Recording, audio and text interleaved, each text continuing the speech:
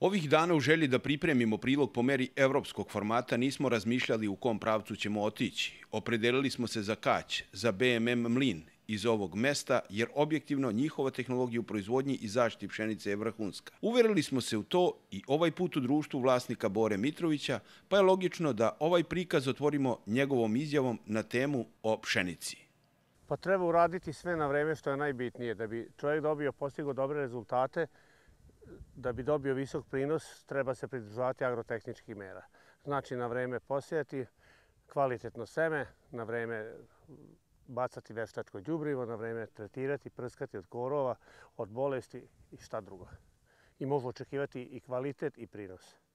Ja mislim da ovdje je bilo sojište, posejano je na vreme, a da jesenac je bačen osnovno djubrivo, mislim da je bačen oko 110 kg mapa po jutru, Ovaj, u proleće krajem februara je bačeno oko, 120, oko 150 do 160 kg ureje u jednom prohodu, zato što je pšenica dobro, dosta dobro izgledala, pa smo se odlučili na jednu, na jednu prihranu.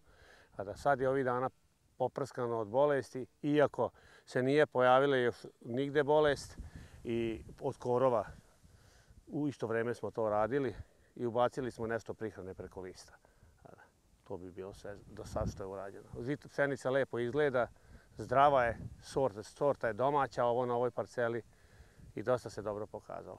Sorte su novosadske? Ovo, ovo su novosadske sorte.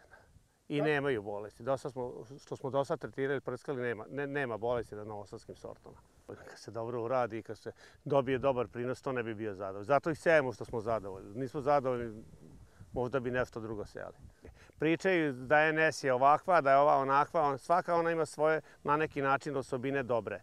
Sve su fenice dobre, samo ih treba dobro iznegovati. Da se dobije velik prinos i da se automatski e, sa velikim prinosom dobijete i kvalitet.